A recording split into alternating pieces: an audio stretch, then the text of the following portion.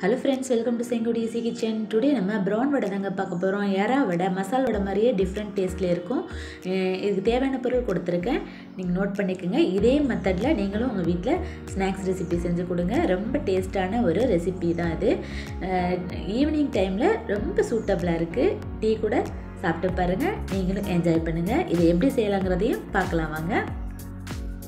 பார்த்தீங்கன்னா இரநூறு கிராம் எறா எடுத்து க்ளீன் பண்ணியிருக்கேன். பாதி வந்து நம்ம எறா வடை வைக்க போகிறோம் பாதி சின்ன சின்னதாக கட் பண்ணியிருக்கேன். அந்த பருப்போடு சேர்க்குறதுக்காக கட் பண்ணியிருக்கேன். இப்போ பார்த்தீங்கன்னா நான் ஒன் ஹவர் ஊற வச்ச கடலைப்பருப்பு இரநூறு கிராம் ப- கடலைப்பருப்பு எடுத்து ஊற வச்சுருக்கேன். இப்போது இந்த எறாவை வந்து நம்ம லைட்டாக மஞ்சள் போட்டு வதக்கிக்க போகிறோம் அதுக்கு ஒரு டேபிள் ஒரு டீஸ்பூன் அளவுக்கு எண்ணெய் சேர்த்துக்குங்க. அதில் எறாவை போட்டுக்குங்க. ஒரு கால் டீஸ்பூன் அளவுக்கு மஞ்சத்தூள் போட்டு கவிச்சி இல்லாமல் இருக்கிறதுக்காக இந்த வதக்க செய்ய போகிறோம் கொஞ்சம் தண்ணி விடும் இல்லையா யாரா? அதனாலையும் இதை நம்ம வந்து இந்த மாதிரி லைட்டாக வதக்கிக்க போகிறோம் இது வதக்கிக்கிட்டு செஞ்சீங்க அப்படின்னா இந்த வடையில் நம்ம வந்து எறா வைக்கும்போது லூஸ் ஆகி கீழே உதிராமல் இருக்கிறதுக்காக தான் இந்த எறாவை வதக்குறோம். இன்னும் கொஞ்சம் கவுச்சி தன்மையும் இல்லாமல் இருக்கும்.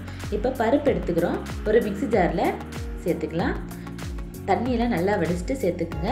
கால்வாசி வெங்காயத்தை நான் ரெண்டு வெங்காயம் கட் பண்ணியிருக்கேன். அதில் கால்வாசி வெங்காயத்தை இதில் சேர்த்துக்கிறேன். பருப்பு கூட. இதை நம்ம கிரைண்ட் பண்ணுறதுக்காக அதை சேர்க்க போகிறோம். ஒரு மிளகாயில் பாதி மிளகாயை கட் பண்ணதை பச்சை மிளகாயை சேர்த்துக்கிறேன். இது கூடயே ஒரு சின்ன துண்டு இஞ்சி கட் பண்ணி வச்சுருக்கேன். அதையும் சேர்த்துக்கலாம். கல் உப்பு தேவையான அளவுக்கு சேர்த்துக்குங்க. ஒரு அரை டீஸ்பூன் அளவுக்கு கல் உப்பு வதக்குன எறா அந்த கட் கட் பண்ணி வச்சுருக்கோம் இல்லையா பீசஸை அதையும் இது கூட சேர்த்துக்கலாம். இப்போ இதெல்லாம் சேர்த்து நம்ம மிக்சியில் ஒரு ஃபல் ஸ்வீட்டு எடுத்துக்கோங்க. ரொம்ப நம்ம கடலை வடகி எப்படி எடுப்போமோ அதே பதத்தில் எடுத்துக்கோங்க. இந்த மாதிரி கிரைண்ட் பண்ணிக்கோங்க. ரொம்ப நைஸாக வேண்டாம். இதை ஒரு பவுலில் சேஞ்ச் பண்ணிக்கலாம். இது கூட மீதம் இல்லை பெரிய வெங்காயத்தையும் கட் பண்ணி போட்டுக்கோங்க. இது கூடயே மிச்சம் உள்ள பச்சை மிளகாய் ஒரு மிளகாயில் பாதி போட்டிருந்தோம். பாதி மிளகாயை போட்டுக்குங்க. சிறிதளவு கொத்தமல்லி சேர்த்துக்குங்க. கொஞ்சமாக கருவேப்பிலை சேர்த்துக்குங்க. அவ்வளோதான் கட் பண்ணதை கருவேப்பிலை சேர்த்துக்குங்க. இது கூட ஒரு அரை டீஸ்பூன் அளவுக்கு சோம்பு சேர்த்துக்குங்க. நம்ம எப்போதும் வடைக்கு சேர்ப்போம். சோம்பு சேர்த்துக்குங்க. இதெல்லாம் ஒன்று சேர மிக்ஸ் பண்ணிக்கலாம். இப்போ இது மாதிரி உருண்டைகளாக எல்லாத்தையும் உருட்டி எடுத்துக்கோங்க. உருட்டிட்டு நம்ம நடுவில் நல்லா பல்ஸ் விட்டுட்டு அந்த கோல் மாதிரி கொஞ்சம் அமுக்கிட்டு அந்த இறாவை பதிச்சிடுங்க அதில். நல்லா பதிச்சிடுங்க. வெளியில் வந்துடும் சம்டைம் அது. ஸோ நல்லா அமுக்கி விட்டுட்டு பதிச்சிடுங்க. இப்போ ஒரு பேனில் தேவையான அளவு பொரிக்கிறதுக்கு தேவையான அளவுக்கு ஆயில் சேர்த்துக்கலாம். பாருங்கள் இந்த மாதிரி நல்லா உள்ளே ப்ரெஸ் பண்ணி இறாவை சேர்த்துக்கிட்டு நம்ம உள்ளே அப்படியே சேர்க்க போகிறோம் ரொம்ப வெளியில் இருந்ததுன்னா எறா வந்து வெளியில் வந்துடும் நம்ம திருப்பி போடும்போதெல்லாம். ஸோ நல்லா கொஞ்சம் மே உள்ளே அழுத்தின மாதிரி எறாவை ஸ்டஃப் பண்ணிக்கோங்க.